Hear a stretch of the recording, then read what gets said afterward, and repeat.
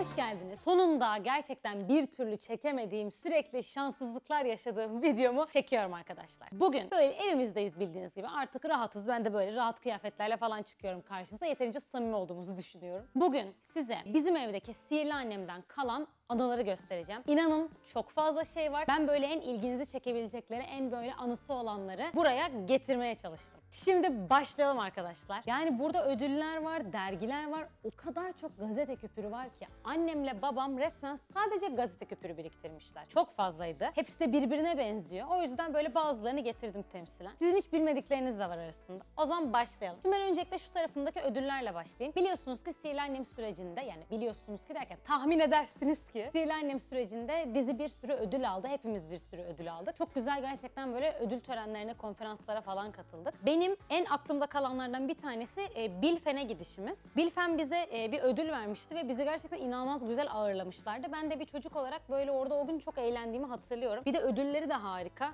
Bunu bize 2003-2004 eğitim öğretim yılı içerisinde vermişler. Ne kadar eski. Ama bu bizim hala evde salonumuzda duruyor yani gerçekten çok güzel. Şimdi sıradaki bu da Sarıyer Belediyesi'nin bize vermiş olduğu bir ödüldü. Bunun da senesi 2006. En iyi çocuk oyuncu ödülü. Bunu da törenini hayal meyal hatırlıyorum. Bu da gerçekten keyifliydi. Şimdi gelelim buna. Bu da Sakarya Üniversitesi Vakfı Özel Okulları. Hmm, 2004-2005. Çok iyi ya. Bayağı güzelmiş bu. Dip ne denir buna? Diploma mı denir? Diploma değil, diploma okulundan mezun değil. Diploma mı yazıyor? Aa, bu bir diplomaymış.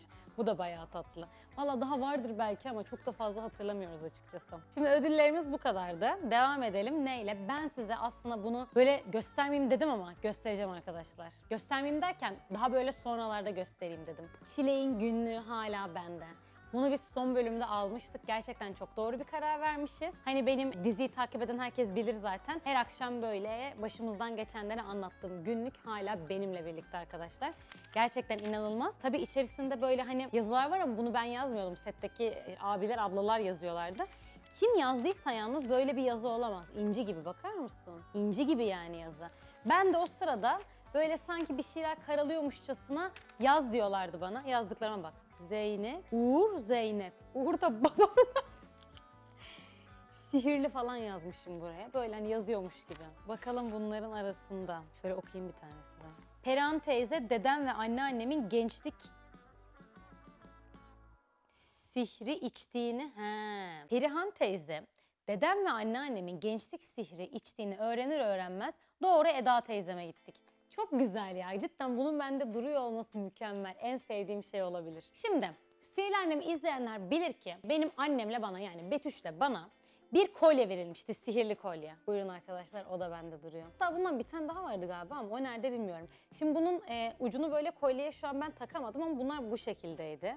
Çok güzel değil mi ya bunda duruyor olması? Bunda böyle kolyeyi böyle şöyle yapıp sihir yapıyorduk galiba böyle huit yapıp değil mi? Öyle bir şeydi. Şimdi gelelim dergilere. Yine tabii ki bu süreçte bir sürü böyle bir de o zaman bir dergi kültürü vardı. Şimdi kalmadı. Çünkü herkes böyle her şeye artık internetten erişebildiği için dergi almanın da benim bir önemi kalmadı. Ama size şunu göstereceğim. Herkes soruyor bana işte oyunculuğa nasıl başladın diye. Ben de bunu aslında birçok yerde bahsettim ve anlattım. Bu yüzden sizleri sıkmayacağım. Ve bahsederken hep diyorum ki İlk defa ben Bebeğim dergisinde bir katalog çekimine katılmıştım. O çekimden sonra ne olduysa oldu diyorum. Şimdi o dergiyi size göstereceğim arkadaşlar. Haziran 2001 sayılı bir dergi. Yani ben 3 yaşındayım. İnanılmaz ya. Şaka gibi yani. O kadar küçüğüm ki. İnanılmaz. Bu çocuklara ne olmuştur acaba? Pozlara bak. Aa, bu bu en güzeli ya. Bu favorim gerçekten. Ayaklara bak fasulye. Şimdi gelelim diğer dergilere. Bakalım bunda ne varmış? Böyle Tom ve Jerry yazan bir dergi ama. Ha, bunda annemle röportajım var. Bak seninle röportajım var. Bir iki tane cevabımı okuyayım şimdi size. Bundan sonra ne yapmak istiyorsun demişler. Sihirli Alem'den sonra ne yapmak istiyorsun? Dizi teklifi gelirse düşünebiliriz. Çıkmazsa böyle de mutluyum. Hafta sonları okulun etkinliklerine giderim. Ama ben sette de çok güzel vakit geçiriyorum. Dizideki annen ile aran nasıldı? İyi, çok seviyorum. Yalnız bir kere İnce Aba'nın evine gittik. Bebeği benim küçüklüğüme çok benziyor. Fotoğraflarımızı yan yana getirince ha o, ha ben yani. Cümlelere bak anne. Geçen sene babalar gününde babanı ne yaptın? Onu öptüm, ona resim yaptım, yazı yazdım ve çiçek aldım. O gün annemden babama çok güzel yemekler yapmasını istedim. Bak bu çok iyi. Annen sana ne yaparsa ona kızarsın. Ben ne dersem diyeyim annem mutlaka haklıdır. Anne nasıl korkuttuysan beni. Yani Annenin en sevdiği özelliği. Ha ben annemin hangi özelliğini en çok seviyorum pardon. Özel günlerde bazı anneler sinirlenebilir. Neden beni sadece öpüyor, bana bir şey almıyor diye. Ama benim annem hiç öyle biri değil. Öpücüğüm bile ona yetiyor. Bu doğru. Hakikaten öyle beklentisi yoktur. Yalnız annem ne yaparsa haklıdır. Resmen korku dolu bir cevap almış. Şimdi söyle Kanal D Çocuk Kulübü'nün bir dergisi var. Bakalım bunda ne var? E, Bunda hiçbir şey yok. He, bir dakika. Kanal D Çocuk Kulübü dergisinin içinden poster çıktı. Zaten kapağı da biziz. Aha poster bu. Ces abiyle Çileğin Yavuz aşkı. Aynı hatırlıyorsun değil mi bunun çok uzun bir süre odamda asılı kaldığını? Demek ki Ces abiyi ben de seviyormuşum biraz. Bayağı bir süre hatta dol- e, dolabın böyle üstünde bayağı bir süre asılı kaldı bu. Ay çok tatlı bir resim değil mi? Bence inanılmaz şeker bir poster. Burada bir Kanal D Çocuk Kulübü dergisi daha var. Ha bunun içinden Sihirli Annem oyunu diye bir şey çıkıyor. Tipe bakar mısın bizim anne? Niye böyle gülmüşüm? Çocuk işte evet. İçinde Sihirli Annem oyunu çıkıyor böyle. Buradan başlıyorsun. Aa çok güzelmiş ha. Gerçekten eskiden böyle şeyler vardı ve insanlar dergi alıp böyle oyunlar oynuyorlardı içinde. Evet burada bir tane daha poster var. Bir- Herhalde bir derginin içerisinden çıkıyor. Yine bu çok büyük bir şeydi yalnız hatırlıyorum. Oo. Ya çok güzel bak. Aa benim dizideki ilk bölümüm anne. Aa, bu çok güzel. Yalnız bir şey değil mi? Bunun olması şu an beni aşırı mutlu etti. Çünkü bu benim dizideki ilk bölümüm ve setteki ilk günüm değil ama ilk günlerimden bir tanesi. İnanılmaz güzelmiş bu poster. Asıyormuşum anne odama. Evet şimdi geldik arkadaşlar. Bu da yine çok fazla hatırlayamayacağınız bir şeye. Sihirli Annem döneminde Cheetos'la bir işbirliği olmuştu ve Cheetos'ların üstüne bizim resimlerimiz basılmıştı. Bakar mısınız? Çok iyi bence bu. Şu an bu olsun çok isterdim. Yalnız biz herhalde gidip Cheetos alıp alıp alıp yiyip saklamışız. Ama içleri yağlı değil baktım. Hediye vermişler. Cipsleri mi? Ha, e yani bence de vermeleri mantıklı. Sihirli annem çıkartması hediyeli bu arada diyor. Çıkartmalar da burada bir dakika. Bir sürü çıkartma çıkıyor. Bak Jennifer var, ben varım, Zuhal abla var. Çok güzelmiş bu cipsler yalnız. Çok beğendim bu işbirliğini. Ve Nevra teyzeyle fotoğraf da bayağı iyi. Bunun çekimlerini hayal meyal hatırlıyorum bak bu Cheetos için yapılan çekimleri. Evet ben bir de yine bu Sihirli Annem zamanında Rodi Jeans vardı o zaman. Onun şeyinde fotoğraf çekiminde yer almıştım böyle katalog çekiminde. Bu mousepad'i yapmışlardı. Bir tanesi de odamda hala mousepad olarak bunu kullanıyorum arkadaşlar. Bir de yine Sihirli Annem zamanında şöyle bir şey olmuştu. Bir sakız çıkarmayı planlıyorlardı böyle çilekli. Kapağında da ben olacaktım. Ama bu bir yalan oldu anne ya. Olmadı bu. Evet. Böyle kaldı. Öyle kaldı değil mi? Bilmiyorum Sevin ama şey çok komik. Tipim aşırı komik bunda. Şimdi ben şöyle içeride bunları ararken böyle çok tatlı... Yönetmenin olduğumu da söyle. Ha tabii tabii bu arada yönetmenim annem arkadaşlar ve inanın çok zor şartlar altında çekiyorum şu an. Annemi görmeniz lazım. Gözünde yakın gözlü. Kulağında kulaklık. Anne net iyi mi? Anne sesi mi? Hepsini kontrol ediyor. İnanılmaz. Neyse. Bazı resimler buldum. Şöyle çikolata yediğim bir sahne. Hiç de hatırlamıyorum bunu. Bunlar var. Bir de Damla ile bir fotoğrafımız var. Bu bizim stüdyodan. O kadar güzel bir resim ki bu. Çok tatlı çıkmışız Damla ile. O yüzden böyle bunları da size göstermek istedim. Şimdi bunların arasında en çok güldüğüme gelecek sıra. Bunu geçen gün bulup Instagram'dan da paylaştım. Mikele doğum günü partisi verip bize davetiye göndermiş. Fotoğrafa bakar mısınız? Artistliğe bak. Sevgili Zeynep, 16 Nisan 2004 Cuma günü saat 16.00'dan itibaren parantez içinde okul çıkışında yapacağım doğum günü partimde seni de görmekten mutluluk duyarım. Ay burada adres adres ve telefonu kapatayım şöyle. Mikele'nin fotoğrafının coolluğu. Bu da şey çekiminden anne. Kanzın çekiminden fotoğraf. Çok iyi ya. Şimdi geldik gazete küpürlerine arkadaşlar. Cidden gazete küpürü çok fazla ama ben birkaç tanesini şöyle seçip göstereceğim. İlkinde Çileğin iki annesi. İnce abla ve annem. Buyurun. Kanal D'nin rating rekortmeni dizisi Sihirli Annem'in yıldızı Çileğin iki tane annesi var. Biri ekrandaki Betüş, diğeri hem sette hem evde yanından ayrılmayan Hamiyet Özkaya. Yemin ederim hiç değişmemişsin. Tabii biraz, bir tık yaşlanmışsın sanki ama. Ama tabii yaşlandı. Ama genel hatlarıyla aynısın anne yani. Yok be ya.